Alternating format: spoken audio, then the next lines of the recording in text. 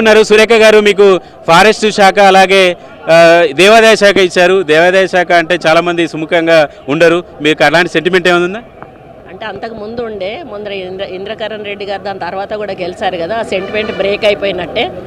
పర్లేదు నాకు హ్యాపీగానే ఉంది. ఎందుకంటే అందరు దే- దేవుళ్ళని దర్శనం మీరు ఎక్కువగా ఎక్కువ పూజలు చేస్తుంటారు కాబట్టి బాధ కూడా ఉండదు అనుకో చాలా సంతోషంగా ఉంది. అందరు దేవుళ్ళని కూడా దర్శించుకునే అవకాశం వస్తుంది. విఐపి ట్రీట్మెంట్ తోటి ఫారెస్ట్ శాఖ అనేది నాకు ఇంత అవగాహన లేదు. ఎందుకంటే గత ప్రభుత్వంలో హరితహారం పేరిట చాలా అందులో స్కామ్స్ జరిగాయి అనేది నాకైతే అవగాహన ఉంది. దాని మీద తప్పకుండా ఒక రివ్యూ మీటింగ్ ఏర్పాటు చేసిన తర్వాత కానీ దాని గురించి నేను మొత్తానికి మొదటిసారి హరితహారం మీద పడ్డారా? మంత్రి అంతే కదా హరితహారంలో చాలా స్కామ్స్ జరిగాయి మా నోటీస్లో ఉన్నాయి.